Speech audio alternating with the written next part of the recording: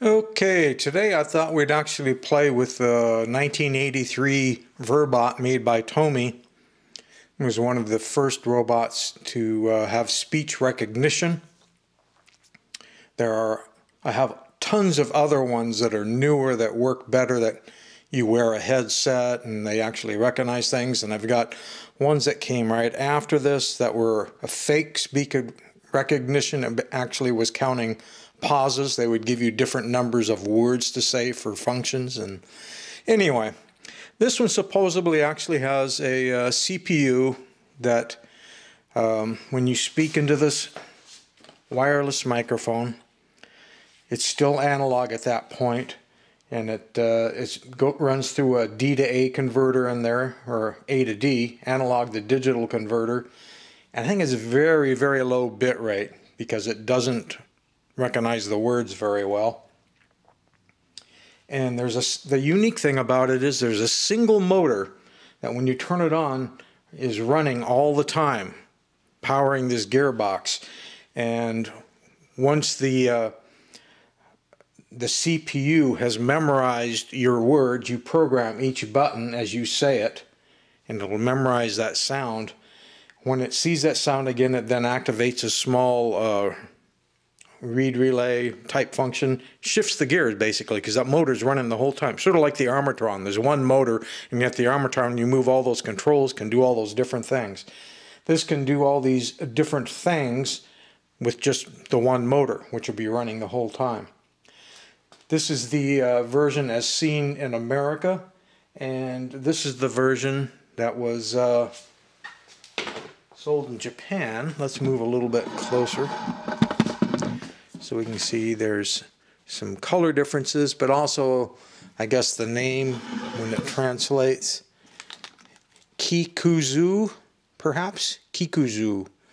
It's the instruction manual and the transmitter for the different color Japanese one there. Um, moving back to this one. You have uh, two C-cell batteries which run that motor, which is on anytime the switch is on. And then the uh, four AA batteries are in there to operate the electronics and CPU. I do have the um, patent application and patent drawings for this up on the website Alphadrome. I'll link them down below in case you'd like to look at it and see the mechanics and all that kind of stuff. Uh, the instruction manual is actually fairly uh, quite a few pages involved in it. But um, let's take a look at the box. Let's look at the box. Do I need to get further back? I think maybe a little. So here's the front of the box. The programmer robot performs eight functions by remote control. And here you can uh, see some of the functions can also see that it was basically 50 bucks at Toys R Us back when I bought it. And here they're showing the larger Omnibot and they're showing the smaller Dingbot.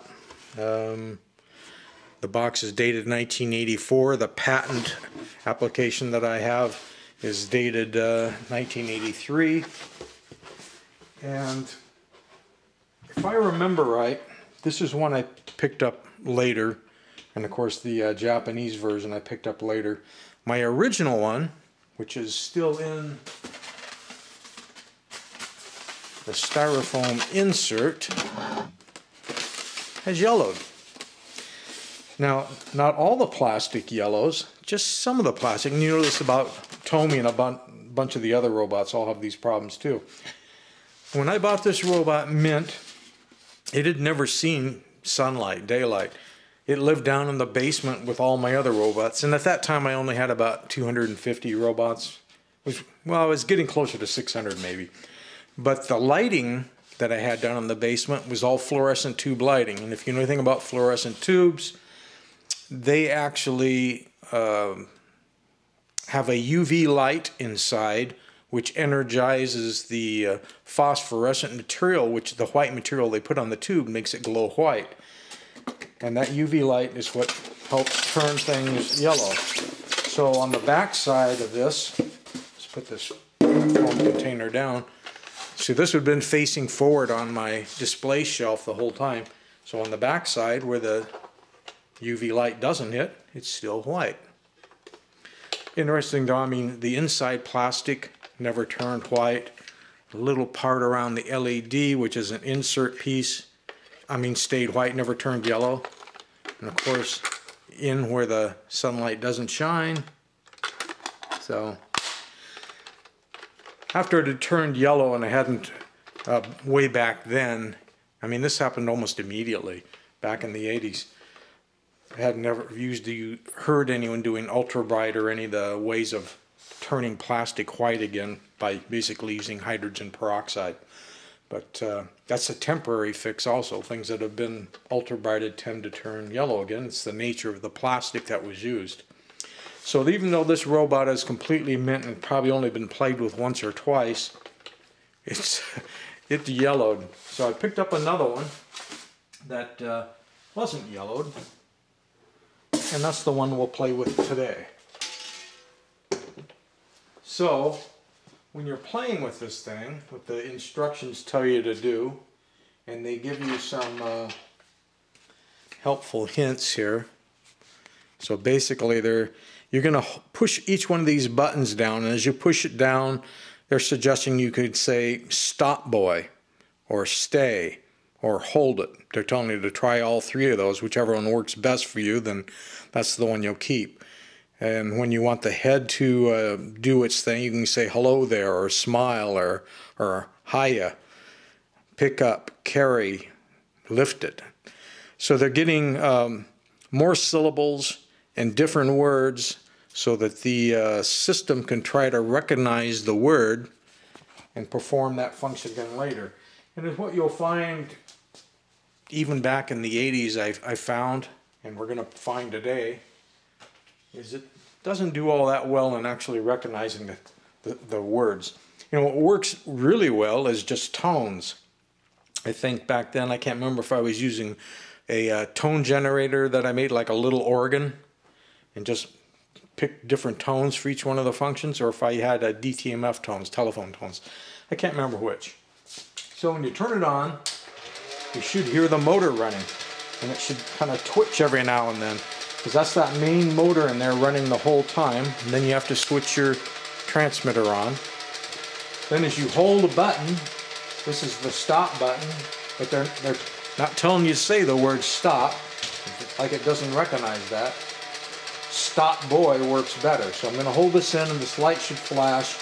And if it recognizes a sound that I've made, then the light will stop flashing.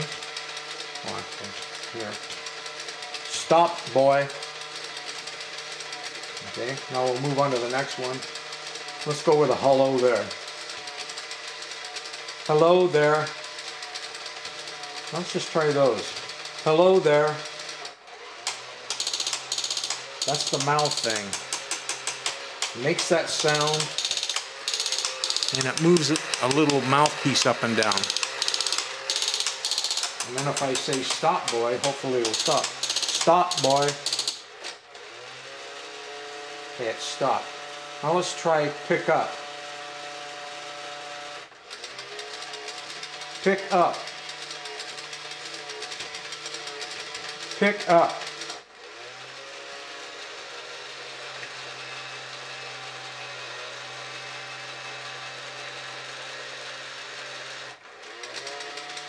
Well, then let's try put down. Put down. Put down.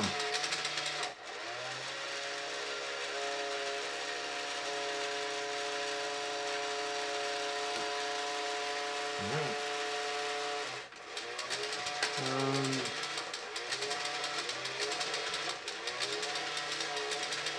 go straight. I want to drive off the uh, counter. Go straight.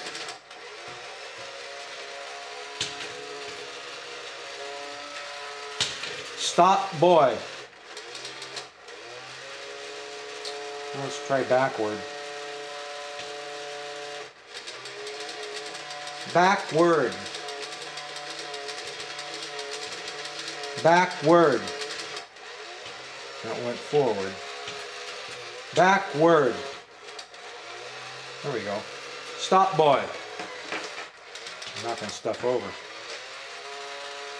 Stop boy. Stop boy.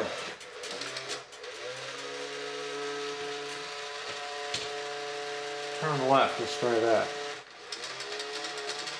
Turn left. Turn left.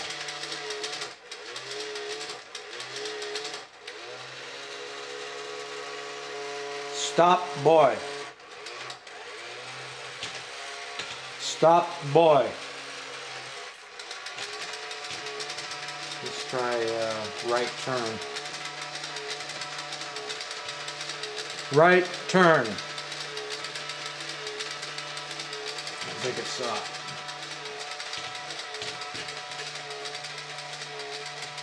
Right turn. Right turn. Right turn.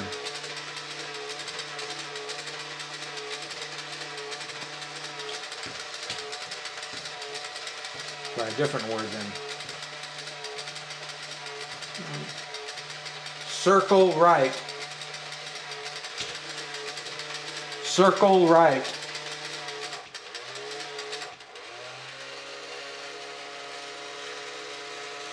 Turn left. Stop boy. Stop boy.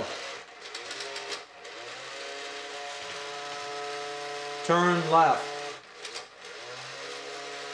Stop boy. Stop boy. Hello there.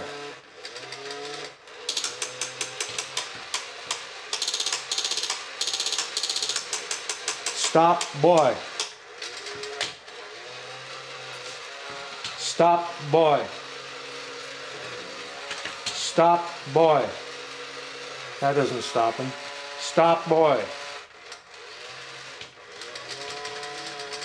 So basically you have to uh, be able to say the sounds exactly the same as when you program them and not forget what they were. That's why I think tones work so well. I just remember having a small box that I had hand built that produced tones and I could program it and then I just knew what the buttons were and I could make it do it every single time.